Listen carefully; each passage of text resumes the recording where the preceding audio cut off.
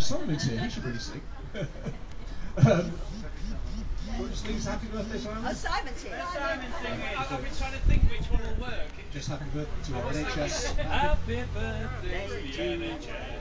Happy birthday, NHS. Happy birthday. That was just the practice. Okay, this Okay, for okay. real. On the count of A one, two, three, four. Happy birthday, NHS. Happy birthday, NHS. Happy birthday, happy birthday, NHS. Happy birthday, NHS. Happy birthday.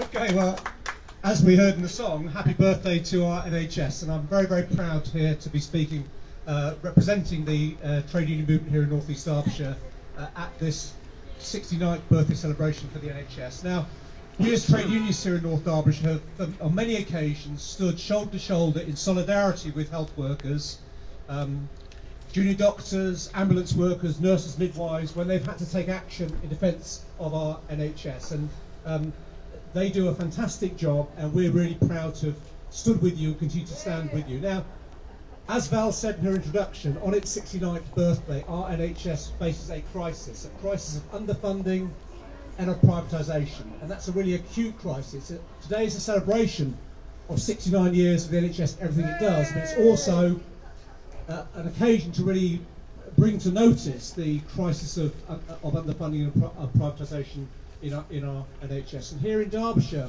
over recent months, we've seen a whole number of proposals to cut beds, to cut community hospitals across the county. Um, and we know that here at the Royal, staff in department and department after, uh, after department here at the Royal have to work under huge pressure, pressures of understaffing, real, real pressures on finances here in the Royal to continue to deliver the sort of service that we as a community depend on. And part of what we're doing here today is paying absolute credit to all of the NHS staff who work here at the Royal and across the country in our NHS who continue under these very, very difficult circumstances to deliver these, uh, uh, um, uh, to deliver those services to our community. Now, it's a complete and utter scandal that NHS staff find their pay, find their wages squeezed by the imposition of a so-called pay cap. And it's even worse that those Tory MPs who voted to impose that pay cap have also just voted to pay themselves an 11% pay rise.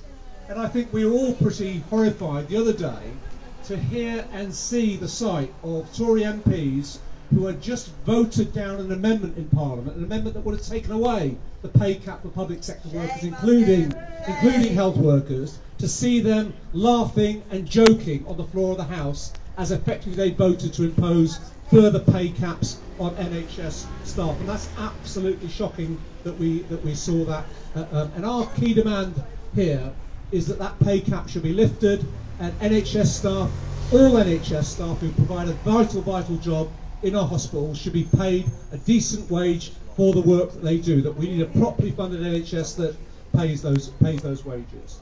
Now, I want to pay a particular debt of gratitude to one particular group of NHS workers, and I think just need, need some particular mention. And those are those many, many NHS workers who come from overseas to work in our health service here in this country, here at the Royal and across uh, the NHS. And at a time when racist right-wing voices seek to divide our communities, I think we have to say very, very loudly and very clearly that migrant workers in our NHS play, play an invaluable role in supporting and sustaining our health service. In fact, our health service couldn't survive without the contribution of those workers from overseas who work in our health service. And therefore, it's absolutely important that we, we publicly value those workers and say very loud and very clear that migrant workers in our NHS are welcome here.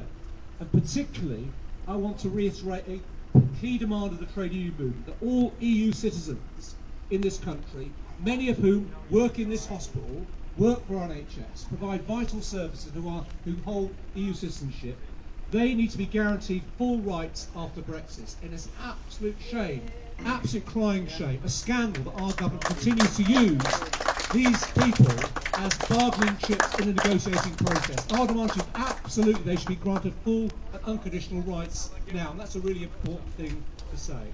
Lastly, I want to send a particular solidarity greeting to another particular group of NHS workers today on this day. And those are to the NHS workers ancillary staff employed by the privatised company Serco, who are today taking strike action in East London in defence of their conditions and jobs. Now, Serco is one of the privatised companies that's, that's, that's taken over the running of a whole range of ancillary catering and other services inside our NHS. And what they do effectively is drive down the pay and conditions of those workers. That's what they're trying to do with workers in East London, to cut their pay and to drive their pay down. And those workers are taking action, and I think we should send a big message of solidarity and support to those workers who today are taking the action in defence of their pay, in defence of their pay, but also in defence of our NHS. And if the government is deaf to demands for the lifting of the pay cap, uh, for the ending of pay, pay restraint and for the lifting of the 1% pay cap on NHS workers. If NHS workers do have to take action, and we know they do so incredibly reluctantly, they do, we as a trade union group will stand beside them once again. So thank you very much, and once again, happy birthday to our NHS. Thank you.